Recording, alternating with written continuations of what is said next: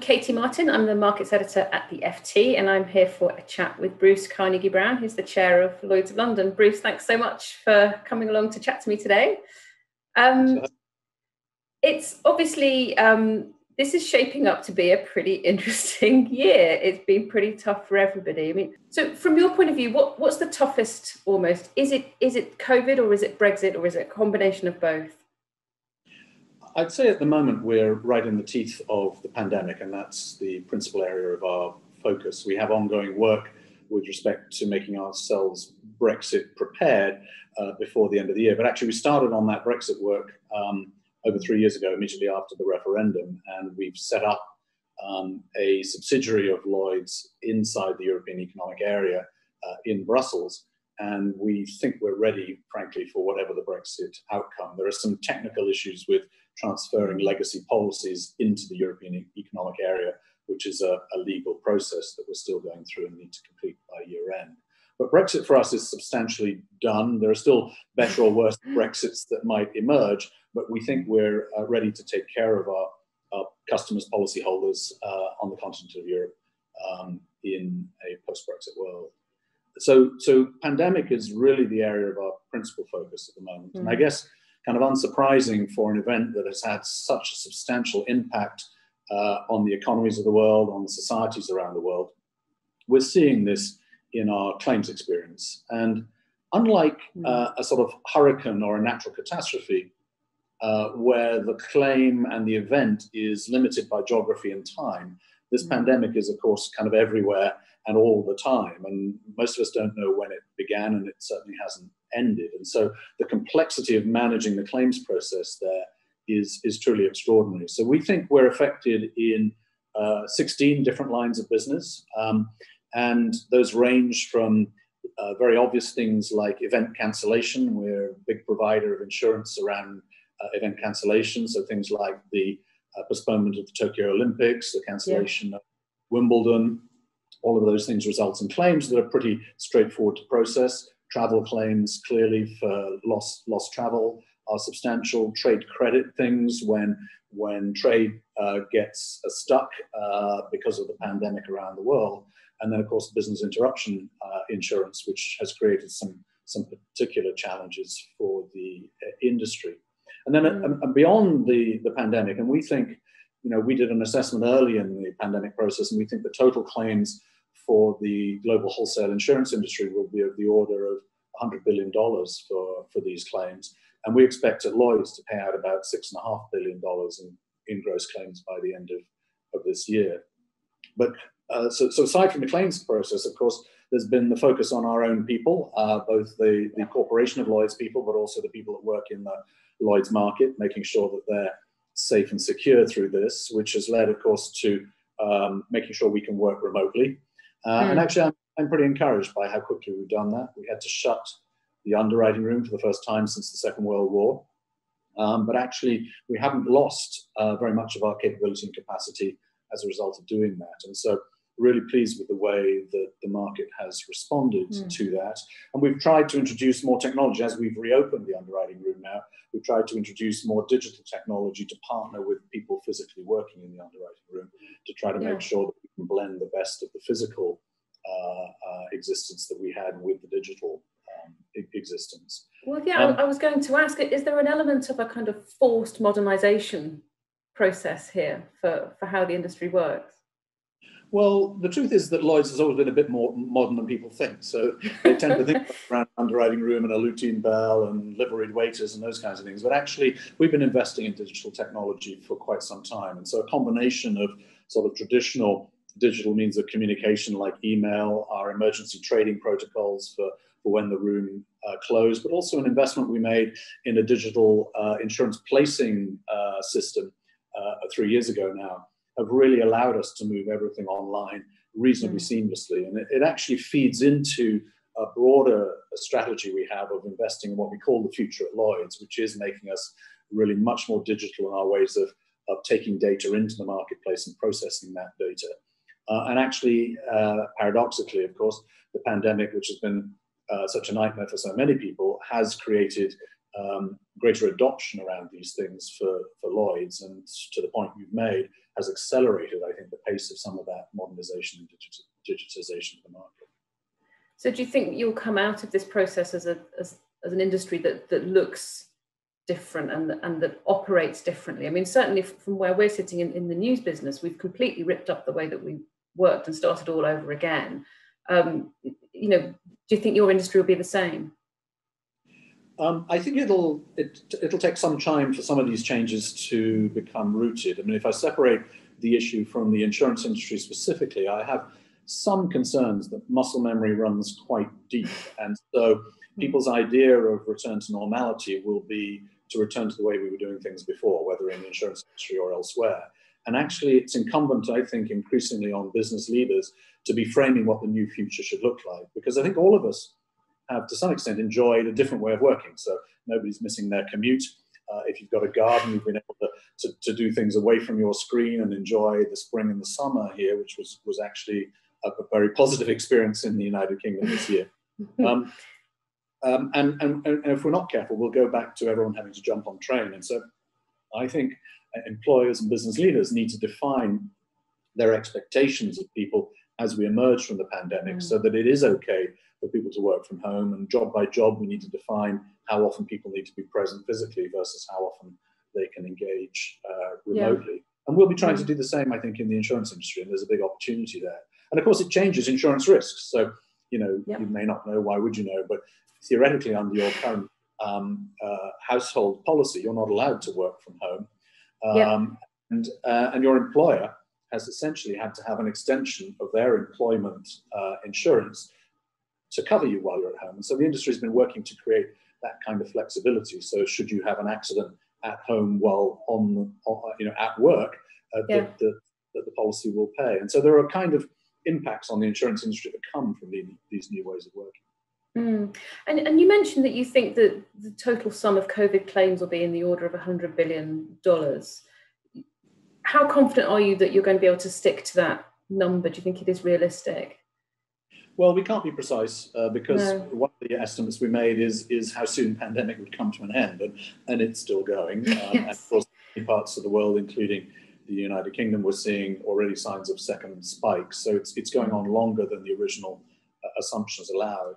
The other thing is that because of the complexity of the claims, they come through in different ways. So we talked about event cancellation being an obvious and immediate uh, kind of insurance claim, but ultimately they will also come through in things like medical malpractice claims because people will be suing their doctors for not being properly treated through the pandemic. Um, they will come through in directors and officers insurance, which is where shareholders will sue companies that go out of business for not managing their business enterprises through these uh, these trying times. And those things all take longer to come through, and so there will be quite a long tail, I think, on these claims coming through. Yeah, and what's the interface, if you like, between support, for want of a better word, through insurance and support through the government. Um, where, how are you going to take account of the assistance that companies and others have had through government when you're talking about how to make claims? Well, very specifically, uh, we've directed that um, our underwriting markets should not take into account um, uh, money paid by the government to businesses mm. in calculating the loss. And typically that would be used to net off the amount of the loss and therefore reduce the size of the insurance claim. And we've asked um, our insurers at Lloyd's to disregard the government funding when looking at the claims payment. And I, I hope that that is a, a customer friendly thing to do and, and definitely um, a, a, way of helping our customers through this challenging time. More broadly, um, we are also advocating that government engages with the industry to create more resilience. Um, what we've seen around the world is that we've not proven to be particularly resilient to this pandemic. And, mm. and although pandemic insurance policies were available, people didn't buy them because they didn't think the probability of the risk was that high. And what we've seen in other sectors um, uh, around the world, so in the UK, we do this around terrorism. Uh, we also do it around flood insurance, and the same in the United States around terrorism and flood.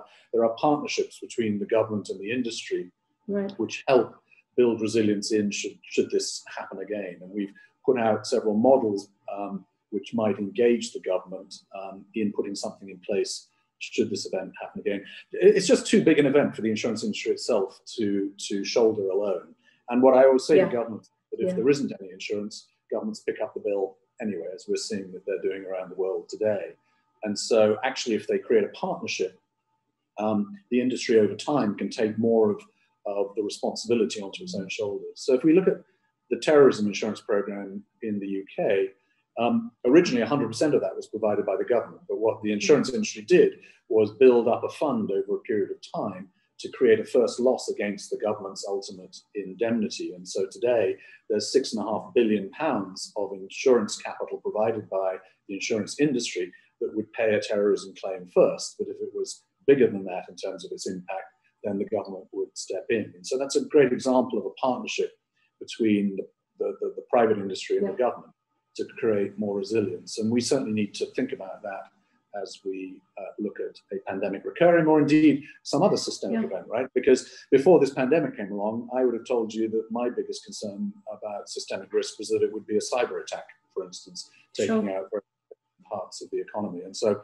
one of the challenges with the existing terrorism insurance is that it can only be used for terrorism. It's not adaptable to be used in the pandemic. And so we've also been advocating more flexible structures to the government um, as a way of par- partnering. And not just in the UK, we, we're advocating these things in the United States and in, in other countries around the world where Lloyd's has a big uh, market presence.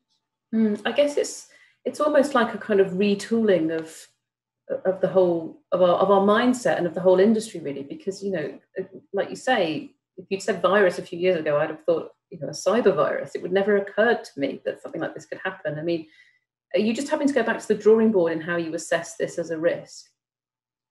Well, we clearly are. Um, and particularly when uh, you underwrite on a certain basis, uh, business interruption insurance being a good one, and then the courts mm. find against you. And so there's a there's a risk um, that we haven't been charging the right premium for the risk we've been taking, or there's a risk for our customers that they thought they were covered and they weren't. And that, that's mm. not a good place for the industry to be. So we need to relook at those kinds of issues.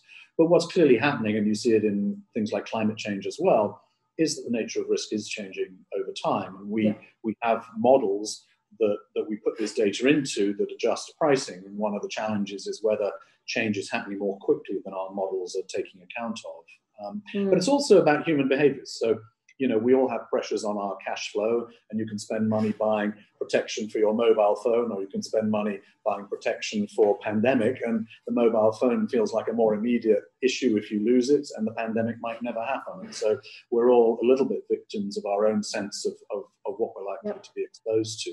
But I think what we increasingly know is that, that these remote events, these apparently remote events, have huge impacts when they when they land. Yeah. So going back slightly closer to, to home and going back to the issue of Brexit, you say you you feel like you're pretty much ready. You know, some kind of you know legal arrangements notwithstanding. But you know, you, look at the the nature of the talks between the two sides and how closely London can be integrated into EU financial services from January onwards. I mean, what what do you think London is going to look like in a sense once we do cross that threshold into being completely out of the EU? What will its role be in European finance, do you think, and in global finance? Well, for me, I think you have to separate the economics from the politics, and unfortunately, mm-hmm. they tend to get dominated by politics. So when you look at kind of issues of equivalence between the UK mm-hmm. and the EU, there's no doubt we are equivalent. We've been equivalent for 40 years. In the world of insurance, um, Bermuda has equivalence for the European with the European Union on insurance contracts. Uh, and if that's true for Bermuda, it's surely true for the United Kingdom and, and, London specifically. But the ultimate decision will be a political one based on conversations between, between political um, uh, parties and governments. Um, and what you have to do as a, as a business person is try to separate yourself from the politics and get yourself into the economics of what the impact might be and how you can build kind of resilience into your business model, but also try to make sure you can open your doors once yeah. um, once this is resolved. Um, and that's what we've really been doing. And I, I think London, once we know what the rules are, London will prove to be extraordinarily uh, resilient, I think, mm. uh, and, and the financial services industry as well. And it, it, it's, of course, a huge industry for the United Kingdom, um, mm. both banking, insurance, asset management. And, uh, and I think it's actually a necessary industry at the moment that the European Union relies on to obtain funding and liquidity and insurance coverage. Um, and one of the things specifically about insurance, of course, of the kind particularly that Lloyd's provides, is that it is about collecting premiums from lots of places and lots of different uh, entities, but actually paying some very large claims when an event um, happens. And think about mm. a flood or a hurricane. And the same happens in the United, uh, in, in the European Union, that, that when events happen, what happens is we bring a huge amount of capital, and that is capital coming outside, from outside those economies into those economies, mm. which speeds the recovery of those economies. And if you don't have mm. international com- capital coming in post an event, what you're doing is really just reallocating government budgets. And so it's a sort of zero sum game. So, you know, there is a real value to the ability to move capital across borders in a free way. And that's just an insurance example. Bankers will be able to give you daily yeah. examples about the value to the global economy of the free movement of capital around mm. the world. But we have to be very careful that we don't uh, end up ring fencing capital geographically around the world in a way that works to the detriment yeah. of and citizens. Yeah, I mean, it's funny. I think when, when a lot of people talk about the city, they mean banking, but as you say, it's about much more than that. It's about banking and asset management and insurance. But the only bit that I guess you can, you know, really make your mark on, I guess, is, is the insurance piece of that. Do you feel like it will still be London will still be an important global player once this is all? Yes, done? and actually, um, for Lloyd's, um, that that that you can make that statement with even greater confidence because only. Right 14% of our business comes out of the European Union. We get 45% of our business out of the United States. So, on a relative basis, unlike many other trade flows around the world, we are disproportionately focused on North America and places like Australia and New Zealand mm. uh, relative to our focus on the European Union. So, we have less downside risk in this. But equally, getting this right would give us some upside opportunity. And, and that's yeah. the piece we also want to capture uh, going forward. This shouldn't just be a defensive activity. It should we should be trying to compete uh, internationally for, for business to continue to come to London, whether it's in banking or asset management. Uh, yeah. Yeah. Well, uh, Bruce, we, we, could talk all afternoon, but I think we're, we're not allowed, and our, and our time is pretty much up. Best of best of luck to you in the in the final months of the year. Next year can simply cannot be worse. So the only way is up. Thank you. I'm, I'm, I'm, I'm aligned with your wishes.